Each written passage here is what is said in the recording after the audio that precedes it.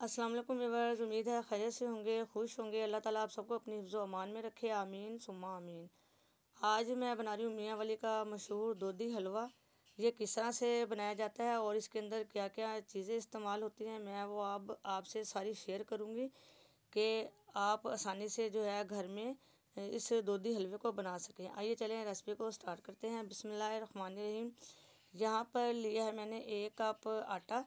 जिसके अंदर मैंने दो गिलास पानी डाल के रात भर भिगो के रख दिया था ताकि पानी के अंदर आटा जो है अच्छी तरह से मिक्स हो जाए, बहुत ही ज़्यादा नरम पड़ जाए। अगर गर्मी है तो आप गर्मी में तकरीबन तीन चार घंटे के लिए भी छोड़ सकते हैं। देखें ओवरनाइट मैंने आटा भिगो कर रखा था पानी में। ये इस तरह से, अच्छी तरह से मिक्स हो चुका है। और अब मैं लूँगी एक मलमल का कपड़ा और इसको एक साइड से बांधूँगी और एक साइड से पकड़ूँगी अपने हाथ में। नीचे रखा है मैंने एक बर्तन।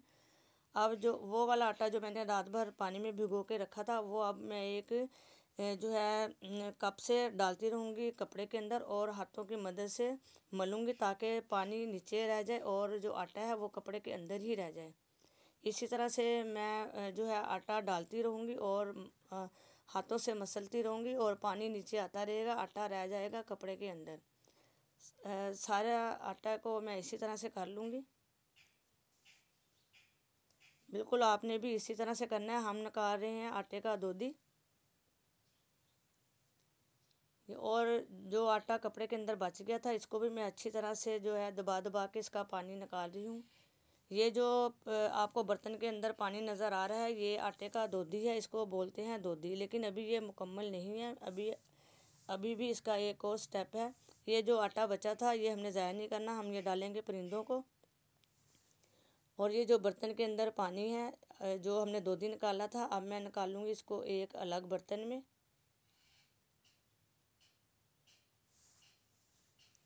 और इसको कपड़ा देकर रख दूँगी आधे घंटे के लिए, ताकि जो है बैटर नीचे बैठ जाए और पानी रह जाए ऊपर। ये इसका दूसरा स्टेप है।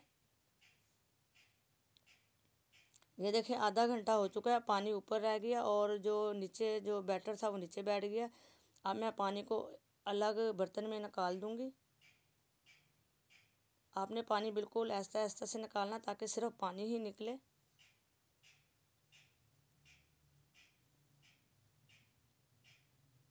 बिल्कुल आपने इसी तरह से ट्रिक्स को इस्तेमाल करना है, तभी आपका परफेक्ट दूधी हलवा बनेगा। ये देखें, सारा पानी मैंने निकाल दिया है। ये आपके सामने है। ये हमारा दूधी निकला, अब हम बनाएँगे इसका हलवा। और अब मैंने ली है एक कढ़ाई, चूल्हे पे रखी है और इसके अंदर डालूँगी मैं सिर्फ़ एक चम्मच चीनी का। फ्लेम हमने सिर्फ़ दम वाली रखनी है, हाई नहीं करनी, वरना चीनी जल जाएगी। ये जो चीनी मैंने इसके अंदर डाली है, एक चम्मच इसका हमने निकालना है कलर। ये कलर जो हम निकालेंगे, वो हलवे के अंदर आएगा, जैसा हमें चाहिए। अगर आपने लाइट गोल्डन करना है तो आप चीनी को लाइट गोल्डन करें। अगर आपने डार्क करना है तो हमने चीनी को डार्क ही पकाना है। ये देखें, चीनी को मैंने पकाया है। इस, मुझे चाहिए बिल्कुल ऐसा ही कलर। फ्लेम में आपको फिर बताऊँगी। हमने जो है दम वाली रखनी है, जो हमने चावलों का दम देते हैं, बिल्कुल उसी तरह से। अभी मैंने इसको थोड़ा सा और डार्क करना है। मुसलसल आपने चम्मच हिलाना है, रोकना नहीं है। ये मैंने आपको मुकम्मल दिखाया है। देखे, मुझे ऐसा ही कलर चाहिए था। अब इस स्टेज पे मैं डालूँगी इसके अंदर एक कप पानी का, ताकि जो चीनी है, वो पानी के अंदर अच्छी तरह से हो जाए हल। और अब मैं इसके अंदर डालूँगी इलायची के दाने। आप चाहें तो यहाँ पर जो है इलायची का पाउडर भी यूज़ कर सकते हैं।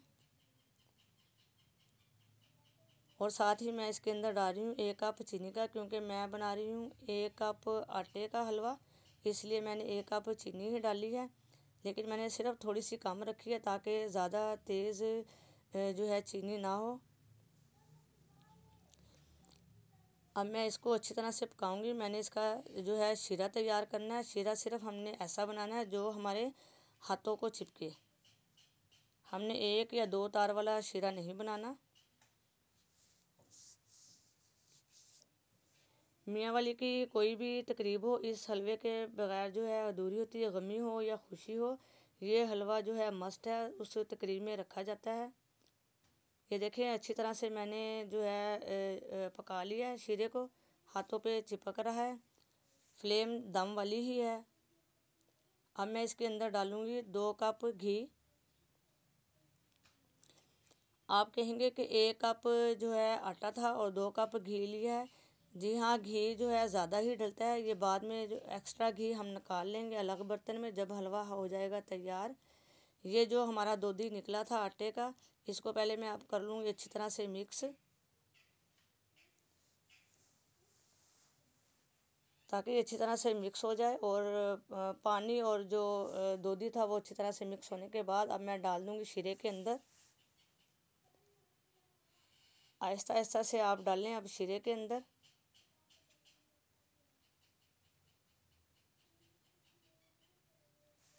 चम्मच आपने मुसलसल ही हलाना है।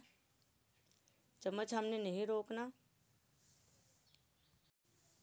मैं बना रही हूँ सिर्फ़ एक प्लेट, इसलिए ये ज़रा जल्दी भी बन जाएगा और जो है काफ़ी मुझे चम्मच भी हलाना नहीं पड़ेगा। अगर आप ज़्यादा बना रहे हैं तो फिर आपको जो है ताकत का इस्तेमाल करना पड़ेगा। इसके लिए चाहिए आपको दूसरे दूसरे की मदद, जो एक कढ़ाई पकड़े और एक मुसलसल चम्मच हिलाता रहे। कभी आप हिलाएँ, कभी दूसरा हिलाएँ, क्योंकि एक बंदे से ये हलवा नहीं बनता। ये आपके सामने है, फ्लेम मैंने जो है, दम वाली ही रखी है।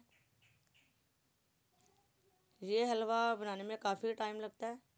ये जल्दी से नहीं बनता, ये सूजी का भी बनता है और आटे का भी, लेकिन मियाँ वाली में जो ज़्यादातर हलवा बनता है वो आटे से ही बनाया जाता है। सूजी का भी बहुत ही मज़े का बनता है, वो भी मैं आपसे जो है रेसिपी ज़रूर शेयर करूँगी।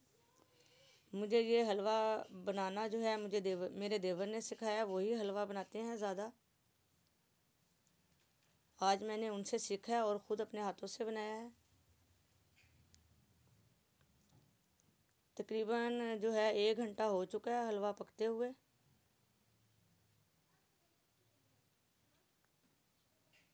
मैंने इसके अंदर जो है एक चुटकी टाटरी की भी इस्तेमाल किया जब हलवा इस स्टेज पे आ जाए, घी अलग हो जाए और सारा जो है जो दूधी इकट्ठा हो जाए, फिर हम डालेंगे चुटकी। और मैंने इसके अंदर डाल दिए थे बादाम और पिस्ते वगैरह, जो भी आपको अच्छा लगे। हलवा तैयार है और अब मैं घी अलग हो चुका है। अब मैं जो इसका, जो घी इसके अंदर है, अब वो मैं निकालूँगी एक अलग बर्तन में, क्योंकि हमने डाले थे दो कप घी के। एक कप घी का जो हमारा इसके अंदर से निकल आएगा, वो फिर आप इस्तेमाल कर सकते हैं किसी मीठी चीज़ बनाने में। ये देखें, एक कप घी का निकल आ, निकल हलवा तैयार है। मुझे उम्मीद है आज आपको हलवे की रेसिपी अच्छी लगी अच्छी लगे तो लाइक करें, शेयर करें। मेरे चैनल को सब्सक्राइब करें, अपना ख्याल रखिएगा। अल्लाह हाफिज़।